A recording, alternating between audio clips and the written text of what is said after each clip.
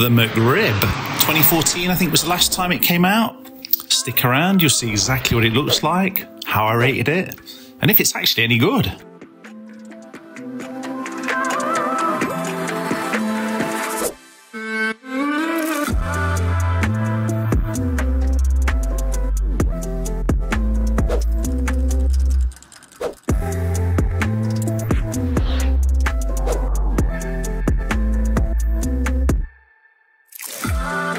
So this week, as I say, we are back to McDonald's for the McRib, which hasn't been out since 2014, December 2014.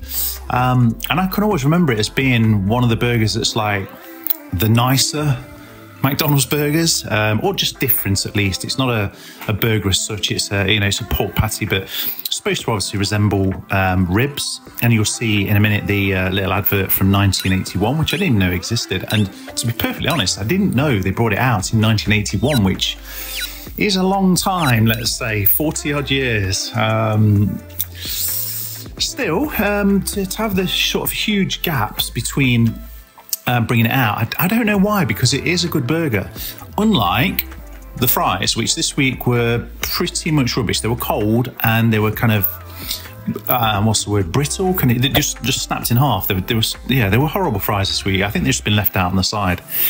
Um, the other new item, which is this cheese bite, which is mozzarella and Emmental, you can see again it just broke away because there was there was no heat in it whatsoever. If they were hot, I'd, I'd, probably give them nine out of ten. I'd give them 10 out of 10 because the, the cheese bites are always really nice and they've got a caramelized onion flavored breadcrumb. So again, they could do with being a little bit bigger, but they were nice. Um, but again, there you go. You can see they just broke apart. There was no heat, so it didn't pull, you know, as cheese normally would. Uh, Emmental was probably a little bit less stringy cheese, but um, more of a nutty flavor, I think Emmental is. But it's, yeah, it, it gave the cheese bites um, a nice flavour, a kind of rounded flavour as opposed to just mozzarella, which can be obviously very plain.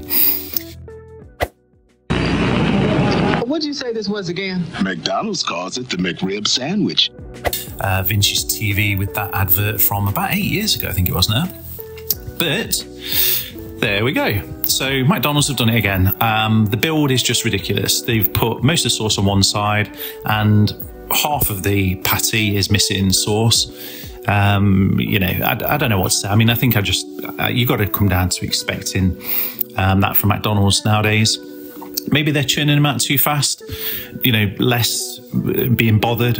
Um, but for four ninety nine, I think they should be bothered. You know, it should turn out reasonably close to advertised versus reality and it wasn't really anywhere like that. I mean, don't get me wrong, raw onions, I hate raw onions on, on almost anything because it just overpowers everything.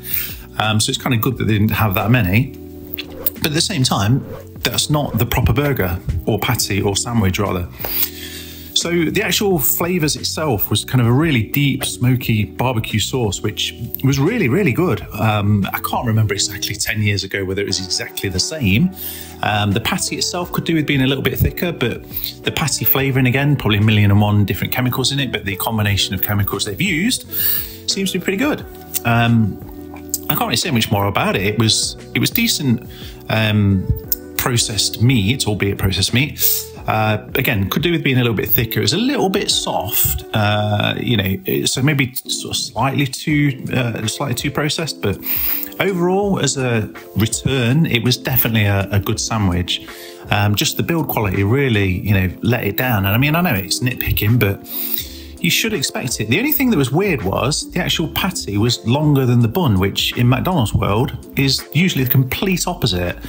So maybe somebody, you know, realised that actually maybe we should have the burger that you can actually see it. So, you know, that's a good thing in itself. But overall, yeah, really nice return. Whether it's staying or not, I don't think it's staying. I think it's, a, again, a limited item.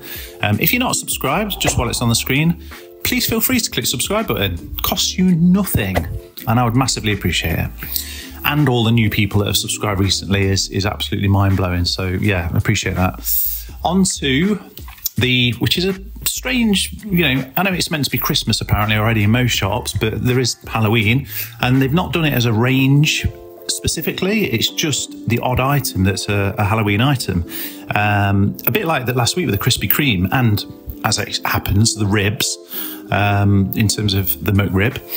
But as a McFlurry, and they're all very much similar, as I'm sure most people know, not too many uh, crushed M&Ms this week or crushed item, you know, whichever you have in the McFlurry, and not too much sauce, which I think is good. You know, most of it was the ice cream, which is really nice ice cream, uh, vanilla ice cream. I think it is the base, but it was it was pretty good. Uh, I, wouldn't, I wouldn't say it was outstanding, but it was pretty good.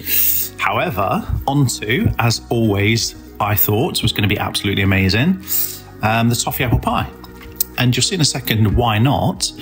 The flavors themselves, toffee and the apple together, yeah, we're really good. I mean, I, I can't fault an apple pie, but one thing I can fault, which you can see there, is the huge difference of £1.40 odd to £2.20 odd from Deliveroo to Just Eat delivery prices. I mean, what on earth is that all about? You know, even to the point where I've signed up to Deliveroo um, Premium just so I can get the free deliveries with doing this um, every week rather than paying the delivery fees. But McDonald's refuse, outright refused to allow free delivery. Which I, I just, you know, that's why they're billionaires and all the land they own and everything else. But either way, I just thought that was quite shocking. So, anyway, after all of that, sorry, back to the toffee apple pie. That was the problem there. It kind of broke in half, like right down the middle.